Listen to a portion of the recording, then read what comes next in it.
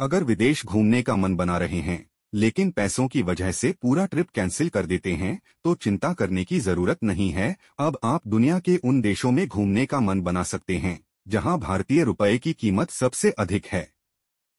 Number एक Costa Rica Costa Rica अपनी समृद्ध जैव विविधता के कारण घूमने के लिए एक बेस्ट जगह है। यहाँ लोग न सिर्फ़ घूमने के लिए, बल्कि सस्ते में डेस्टिनेशन वेडिंग के लिए भी आते हैं। इस क्षेत्र में एक रुपए का मतलब आठ दशमलव छह पाँच कोलन है, जिसमें आप अपनी मनचाही चीज़ खरीद सकते हैं। आवश्यकता, यहाँ जाने के लिए आपको वीज़ा की ज़रूरत होगी। घूमने लायक जगह समुद्र तट रिसोर्ट्स, रेफरेस्कोस नेचुरल्स, यहाँ के बेस्ट पर्यटन स्थल है। नंबर दो, हंगरी। हंगरी एक ऐसा देश है, जो रुपए में घूमने वाले व्यक्तियों को बेहद सस्ता पड़ेगा। यहाँ रहना और खाना काफ़ी ज़्यादा सस्ता है। यहाँ आप कम पैसों में शाही चीज़ों का मज़ा ले सकते हैं। यहाँ आपकी जेब पर बिल्कुल भी भारी नहीं पड़ेंगे। यहाँ भारतीय एक रुपया की कीमत चार दशमलव पाँच दो फोरेंट है। हंगरी का बुडापेस्ट भी घूमने के लिए एक बेहतरीन जगह है।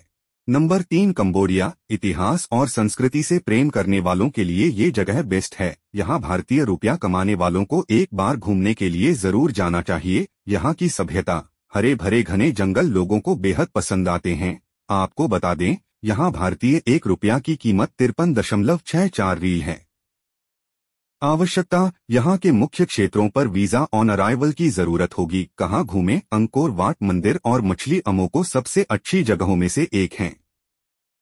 नंबर चार, इंडोनेशिया। इंडोनेशिया उन देशों में से एक है, जहाँ भारतीय मुद्रा की कीमत काफ़ी अधिक है। साथ ही द्वीपों की भूमि, साफ़ नीला पानी और यहाँ का सुहाना मौसम, लोगों को बेहद पसंद आता है। ये देश भारतीयों को वीज़ा ऑन अराइवल की सुविधा में कोई शुल्क नहीं लेता। इसका मतलब है कि आप यहाँ ज़्यादा खर्च किए बिना एक अच्छा समय बिता सकते हैं। यहाँ भारतीय एक रुपया की कीमत एक सौ सत्तानवे दशमलव चार छह इंडोनेशियन रुपया है। बाली यहाँ के सबसे लोकप्रिय हॉलिडे डेस्टिनेशन में से एक है।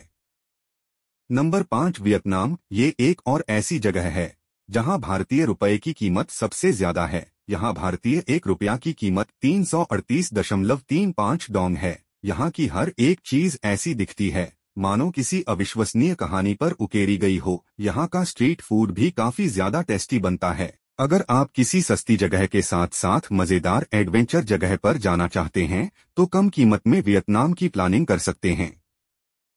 आवश्यकता भारतीय नागरिकों के लिए ऑनलाइन वीज़ा उपलब्ध हैं। क्या देखें हालोंग बे पर क्रूज बहुत ही सुंदर और आकर्षक जगह है। दोस्तों, उम्मीद है कि आप लोगों को यह वीडियो पसंद आया होगा। मिलते हैं एक और रोमांचक वीडियो के साथ, तब तक के लिए शुक्रिया।